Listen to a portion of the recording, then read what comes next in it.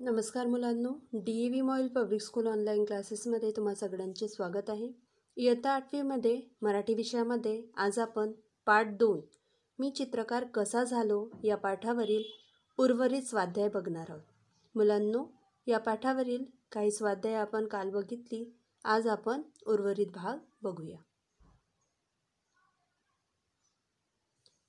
मुलांनो पुढील प्रश्न आहे खालील दिलेल्या शब्दांतून नाम व विशेषणे ओळखून त्यांच्या जोड्या जुळवा.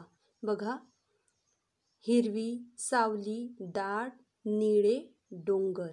तर यामधून आपल्याला नावे आणि विशेषणे नाम आणि विशेषणे आपल्याला ओळखायची आहेत. तर बघा नामे कोणती आहेत? डोंगर राणे सावली ही नामे आहेत. तर विशेषणे कोणती आहेत?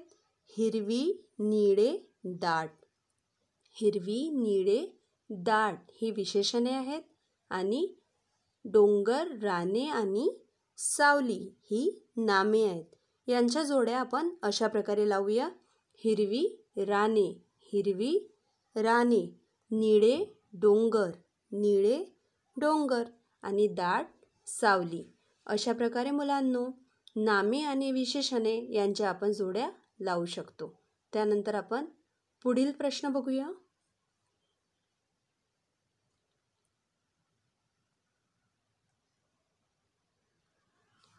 वाक्य म्हणजे काय?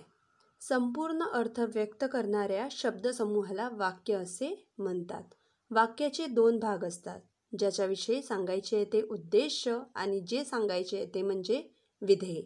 आपण ज्याच्याविषयी सांगतो माहिती त्याला उद्देश असे म्हणतात आणि जे सांगावेचे आहेत त्याला विधेय असे म्हणतात.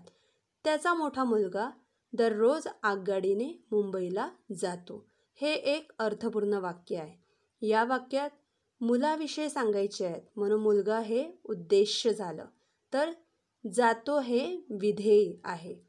बघा वाक्य नीट समजून घ्या. या वाक्या या वाक्यात मुलाविषयी सांगायचे आहे. कोणाविषयी सांगायचे आहे? मुलाविषयी. म्हणून मुलगा हे उद्देश तर जातो हे विधेय आहे. उद्देश म्हणजे ज्याच्याविषयी सांगायचे आहे त्याला. त्यानंतर बघा मुलांनो. या वाक्यातील त्याचा मोठा हे शब्द उद्देशाचा विस्तार आहेत तर दररोज आगगाडीने हे शब्द विधेयाचा विस्तार करतात. म्हणजे विधेयाबद्दल अधिक माहिती देतात. त्यानंतर बघू वाक्यांचे विविध प्रकार. खाली काही वाक्यांचे प्रकार दिले आहेत ते प्रकार आपण समजून घेऊया. पहिलं वाक्य आहे विधानार्थी वाक्य. वाक्य वाचा माझे घर दवाखान्याजवळ आहे. तो रोज व्यायाम करत नाही. ज्या वाक्यात केवळ म्हणजे फक्त ज्या वाक्यात केवळ एखादे विधान केलेले असते त्यास विधानार्थी वाक्य असे म्हणतात. तर पहिलं आहे विधानार्थी वाक्य. का तर या वाक्यामध्ये फक्त एक सरळ सोपे विधान केलेले आहेत. म्हणून या वा या वाक्याची व्याख्या अशा प्रकारे करण्यात येते की ज्या वाक्यात केवळ एखादे विधान केलेले असते त्यास विधानार्थी वाक्य असे म्हणतात. तो बघा माझे घर दवाखान्याजवळ आहे. तो रोज व्यायाम करत नाही. अजून एक उदाहरण यामध्ये आपण जोडू शकतो. मी दररोज शाळेत जातो. मी दररोज शाळेत जातो. अशा प्रकारे सुद्धा आपण विधानार्थी वाक्य तयार करू शकतो. त्यानंतर मुलांनो प्रश्नार्थी वाक्य. तर प्रश्नार्थी वाक्य कशाला म्हणतात? तर ज्या वाक्यात प्रश्न विचारला जातो ज्या वाक्यात प्रश्न विचारला जातो त्यास प्रश्नार्थी वाक्य असे म्हणतात. जसं एक उदाहरण बघा तुला लाडू आवडतो का? शेवटी काय दिलेलं आहे? प्रश्नार्थक चिन्ह. तर प्रश्नार्थक वाक्याची प्रश्नार्थक चिन्ह हे सुद्धा एक ओळख आहे. ही महत्त्वाची ओळख आहे या वाक्याची. ज्या वाक्यामध्ये प्रश्न विचार विचारला जातो त्या वाक्याला प्रश्नार्थी वाक्य असे म्हणतात. त्यानंतर दुसरं उदाहरण बघा. तुम्ही सकाळी कधी उठता?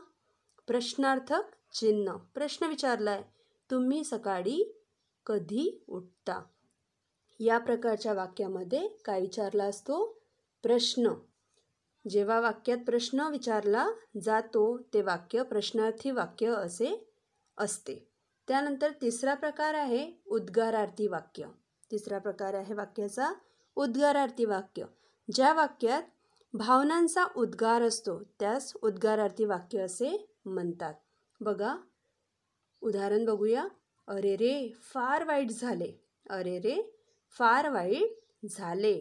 अरे रे म्हणजे मनातील दुःख शोक हा शब्द दर्शवतो.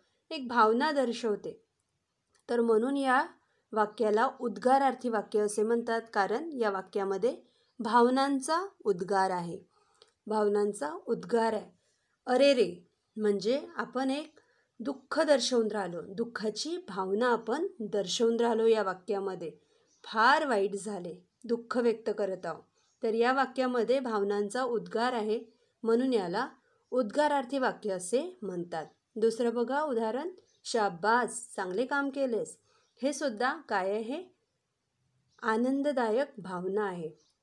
तर अशा प्रकारे उद्गारवाचक शब्दांचा इथे समावेश असतो आणि भावनांचा उद्गार असतो अशा वाक्यांना उद्गारार्थी वाक्य असे म्हणतात. चौथा प्र प्रकार आहे मुलांना आज्ञार्थी वाक्य. आज्ञार्थी आज्ञार्थी वाक्य म्हणजे ज्या वाक्यात आज्ञा किंवा आदेश दिला जातो त्यास आज्ञार्थी वाक्य असे म्हणतात. उदाहरण आहे मुलांनो रांगेत चला. आज्ञा दिलेली आहे किंवा आपण याला म्हणू आदेश दिलेला आहे. त्यानंतर दुसरं उदाहरण आहे उत्तम आरोग्यासाठी व्यायाम करा. ही सुद्धा एक आज्ञा आहे. तर ज्या वा वाक्यामध्ये आज्ञा किंवा आदेश दिला असतो अशा वाक्यांना आज्ञार्थी आज्ञार्थी वाक्य असे म्हणतात. मुलांनो रांगेत चला हे उदाहरण आहे त्याचं आणि उत्तम आरोग्यासाठी व्यायाम करा. म्हणजे या वाक्यामध्ये अशा प्रकारच्या आज्ञा किंवा आदेश देण्यात येतात. तर मुलांनो अशा प्रकारे हे वाक्यांचे चार प्रकार आहे. तुम्ही नीट समजून घ्या. तुमचा यावर आधारित गृहपाठ आहे. जे आज आपण स्वाध्याय बघितले आणि समजून घेतले मुलांनो ते तुम्ही वहीमध्ये लिहा आणि नीट समजून घ्या त्यांचे वाचन करा आणि पुन्हा तुम्ही या वाक्यांमध्ये नवीन उदाहरणे लिहा. तुम्हाला जे नवीन उदाहरणे वाक्य तुम्हाला सुचतील ते वाक्य तुम्ही लिहा. तयार करा वाक्य. आपण मागील तासिकेमध्ये सुद्धा स्वाध्याय लिहून घेतलेला आहे तो सुद्धा तुम्ही वहीमध्ये लिहा. मुलांनो इथे आपला पाठ दोन.